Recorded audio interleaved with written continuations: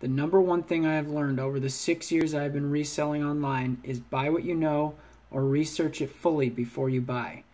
Take your phone out and go to the solds on eBay. If you do not have a smartphone, then write it down, go home, look at the solds on eBay, and then if it is worth it, go back and buy it. If you do not have time to research, then don't bother unless it is 50 cents or free and you have a good inclination. Remember, if you waste $2 a day on stuff that does not make money, then that is $60 a month. If you waste $5 a day on junk, that would be $150 a month you could have spent somewhere else. Plus, you may be wasting time listing it. You would be better served by saving all the time you wasted listing junk and hitting more thrift shops to find stuff you know is worth money.